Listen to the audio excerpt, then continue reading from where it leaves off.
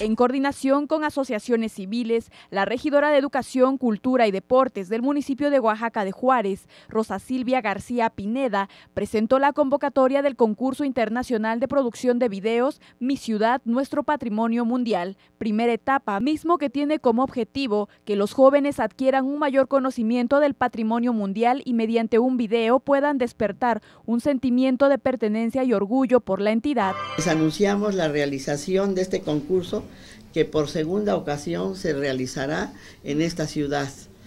Invitamos a todos los jóvenes del municipio de Oaxaca de Juárez a que participen en este concurso en su etapa local, ya que los ganadores del mismo podrán participar en el concurso internacional organizado por la Organización de las Ciudades Patrimonio Mundial. La finalidad del certamen es que los jóvenes, a través del video, rescaten los aspectos y elementos característicos que nos hacen patrimonio mundial. Por su parte, el presidente del Colegio Libre e Independiente de Arquitectos de Oaxaca, Gerardo José Corres Tenorio, informó que los videos ganadores, además de recibir el pase al concurso nacional, recibirán el premio El Guaje, una obra del maestro Alejandro Filo. Este concurso eh, tiene su lanzamiento hoy en la fase local eh, y los ganadores en las dos categorías que se presentan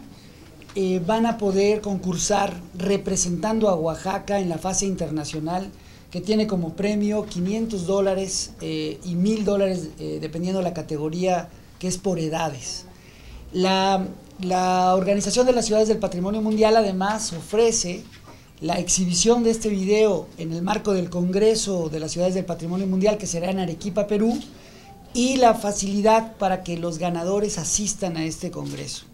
Por su parte, el artista plástico Alejandro Filo recalcó que la realización de este tipo de eventos es de gran importancia, ya que impulsan el respeto y amor por la riqueza cultural y patrimonio de los estados. Yo creo que, es fundamental este ejercicio para que las nuevas generaciones, los jóvenes, los niños, se den cuenta y valoren lo que, lo que tenemos. Y que no solamente lo, valoren, eh, se enamoren y que reconozcan en ello un, activo, un activo que tenemos y que, y que debemos cuidarlo y que debemos ser conscientes como padres